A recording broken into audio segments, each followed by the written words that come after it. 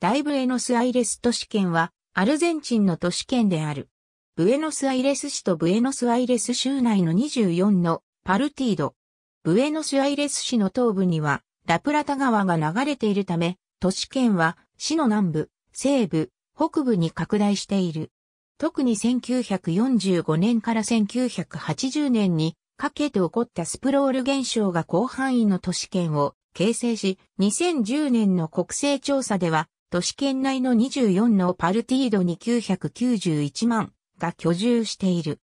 ブエノスアイレス市を含めれば1280万人となり、アルゼンチンの人口全、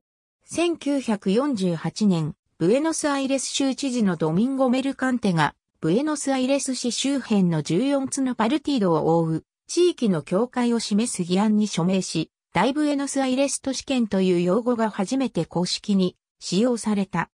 この用語は必ずしも定義が明確でない他の表現、ブエノスアイレス都市圏、大ブエノスアイレス都市群、ブエノスアイレス大都市地域などの表現とも関わっている。